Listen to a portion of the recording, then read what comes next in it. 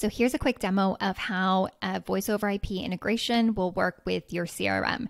So basically, this is your activity section in your CRM. Now, this is Copper, but this also works with other CRMs like Pipedrive and HubSpot.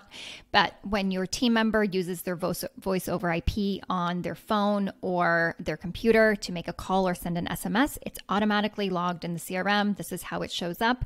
And if you have call recordings turned on, you can click that to access the full call in Dialpad for example. And then each SMS is also tracked uh, line by line uh, as an activity.